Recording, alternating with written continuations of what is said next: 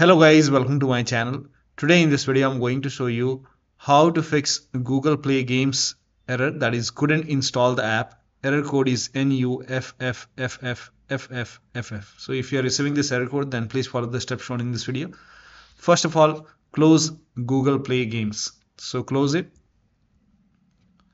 You can close it from here as well. So go to the hidden over here hidden tab over here make a right click and then click on exit.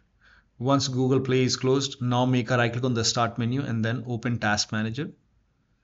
And then close all the google services over here. So find google services. So here you can see if you have google services running close all the google services. So you might see google services. Here you can see gaming services.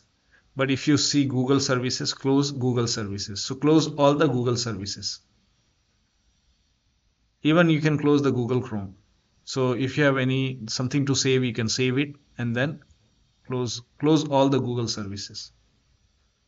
Now once you close all the Google services now open file explorer go to this PC open C drive open program files x86. Now over here you can see the Google folder. Now first of all you can create a backup. Make a right click and then copy this now once you copy it you can paste it on the desktop. Just create a backup. Once you have the backup of google folder over here now you can delete the google. Make a right click and then click on delete. Once this is deleted now you can open google play games.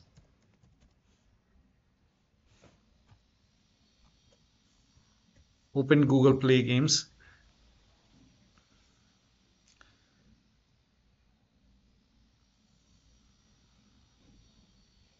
And now uh, you can try to install any game, whichever game you want to install, you can install it.